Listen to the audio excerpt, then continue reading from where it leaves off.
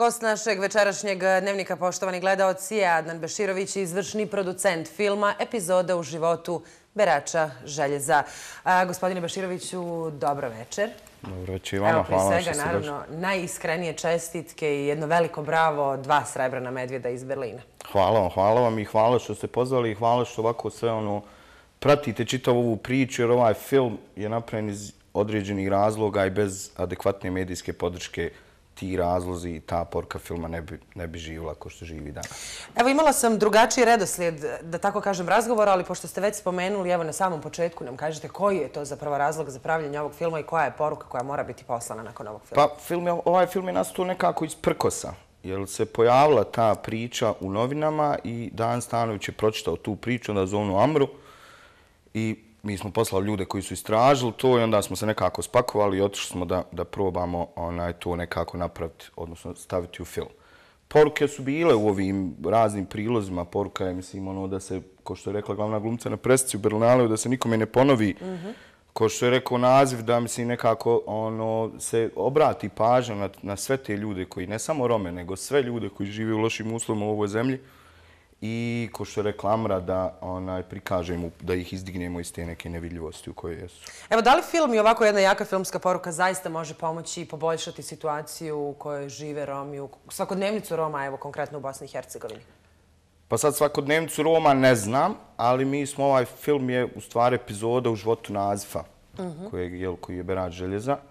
I na neki način njega smo izdigli iz te nevidljivosti a za njim i određeni, vjerovatno, ono, ostali Rome. Uh, mislim, može, ali bez, ono, ko što rekao, bez medijske podrške i bez određenih još, pored filma, znači, akcija i, i raznih, ono, ljudskih, da kažem, zadava, ne može samo, samo ovaj film. Morali, ove priče se moraju pričati više da bi, da bi ona, imale uspjeh u, u predstavljanju Roma i ono, izdizanje njih iz te neke nevidljivosti, poboljšanje njihove svakodnevnice. Jasno.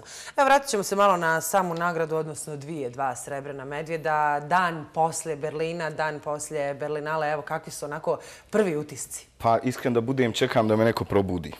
Onaj, malo je teško prenijeti sve te utiske, jer mislim, veliko je zadovoljstvo učestvovati na jednom velikom festivalu kao što je Berlinale, pogotovo u tom nekom takmičarskom programu sa filmom koji je koštao toliko koliko je koštao skromni budžet, da bi možda gledalcima prikazali, ja vjerujem da je naš film koštao koliko možda i sat Jude Law na crvenom tepihu ili možda kompletan styling haljina Catherine Zeta-Jones. Tako da tako će se ravnopravno i osvojiti nagrade sa milionskim budžetima, a vi, mi imamo tako skroman je velika stvar i to su, mislim, ono, Ono što je jasno jeste da odlazak na svako veliko takmičenje ili evo filmski festival naravno nosi sa sobom negdje želju za nagradu, ali realno da li ste negdje očekivali možda ove nagrade? Pa iskreno budem nismo i to kad kažem nismo, ono baš nismo. E, mi kad smo krenuli snimati ovaj film mislili smo da će to biti, mi smo e, krenuli snimati film bez ikakvih očekivanja. Znači mi nismo očekivali da ćemo imati film.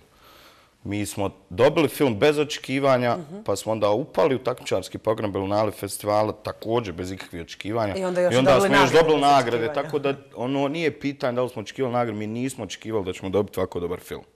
A, da li e, to znači, evo konkretno vaše mišljenje, da je saradnja sa Danisom Tanovićem, ovo je treći film na kojem sarađujete, ako se ne veram, sa Danisom Tanovićem.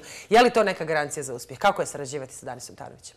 Pa najveći, znači naj, najveću zasluge za uspjeh ovog filma upravo idu njemu, što je logično, jer je on nekako sa amaterima, glumcima, e, uspio je kroz rad s njima da, da ih natjera da oni prožive ponovo čitavu tu priču i da preslikamo tu emociju na, na, na film, odnosno na gledalce, odnosno na žiri Berlin Film Festival. I tu se krije najveći uspjeh. Rad s dansom u, u jednu ruku je veoma lako, pošto naša uloga u čitavom filmu produkcije je da, da smo nekako pozadni da omogućimo autorima uh, uslove za rad i alat i mjesto za rad. I onda nekako kad pokucate na vrati i kažete da dolazite iz ekipe Dansa Tanovića, u jednu ruku vam je lakši. Uh, u drugu ruku je teže zato što danas ima jedan sistem u kojem vam da puno povjerenje i ono, bukvalno eto te onaj, za uradi to, i, ali mislim, veoma je svjestan da, da, da nismo ni mi sve mogući, da mu neke stvari se ne mogu dati i onaj, u, u takvim situacijama jako brzo, brzo nalazi neka druga alternativna rješenja koja često se znaju desiti da budu bolja i od ovih ono, prvih prvog Evo za kraj još e, samo kratko, meni je žao što nemamo više vremena. Film, dalje, dalje projekcije kada će Bosanci i Hercegovci u, u, evo konkretno u Sarajevu ili širom Bosne i Hercegovine moći pogledati ovaj film? A, Bosanci i Hercegovci ovaj film moći pogledati na, već na sljedećem Sarajevo Film Festivalu. A eto, dakle, sjajno. Ne moramo tako dugo čekati. Ne moramo dugo čekati, a film je imao veliki uspjeh i na ovome marketu Berlin Film Festivala, koji je također velik kao i sam festival.